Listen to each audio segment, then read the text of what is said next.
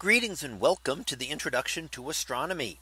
One of the things that I like to do in each of my introductory astronomy classes is to begin the class with the astronomy picture of the day from the NASA website that is apod.nasa.gov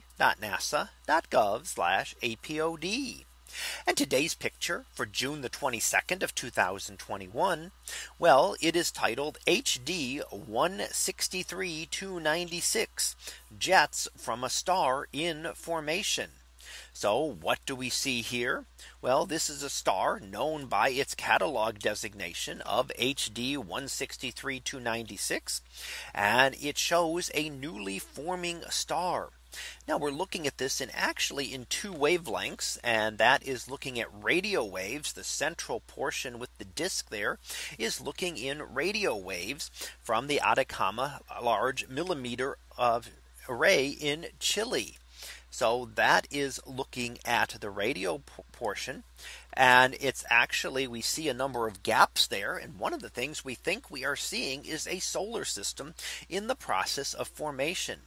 Over the last few decades, we have gained more and more evidence that planetary systems are very common in the universe. Now that's something we've suspected for a long time, but it's only been recently that we've been able to detect of things like this and actual extrasolar planets as such as the 4000 or so that are now known to exist around other stars. So the more we study these, the more extrasolar planets we begin to find. And these gaps may be created by planets in the process of formation around the star.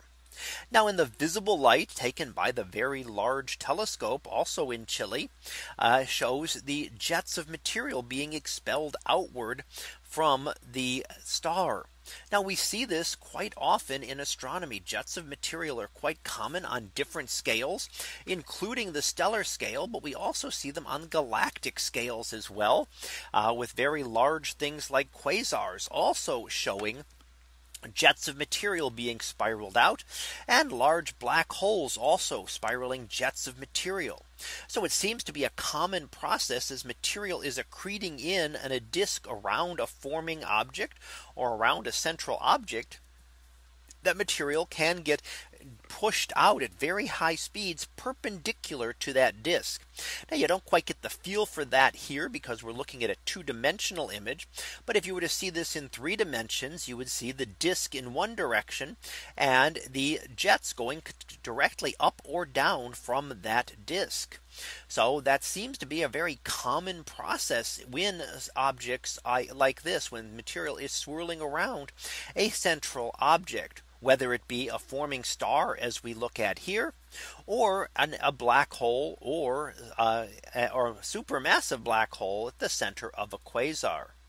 Now the jets might be confined by things like magnetic fields which which collate them and keep them going in one specific direction.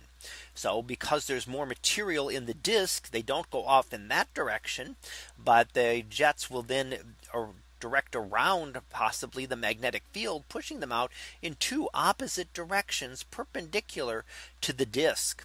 So here we're starting to get looks at star systems in the process of formation and help us be able to learn more about not only how the jets work on this scale, but on much larger scales as well by being able to look at them in multiple situations, but being able to better understand the methods of planetary formation, which just a few decades ago, we only had one planetary system to study, and that was our own now we have thousands of them, which helps us get a much better understanding of the process.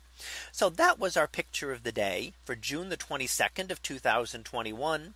It was titled HD 163 296 jets from a star in formation.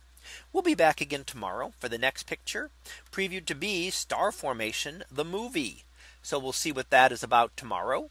And until then, have a great day, everyone and I will see you in class.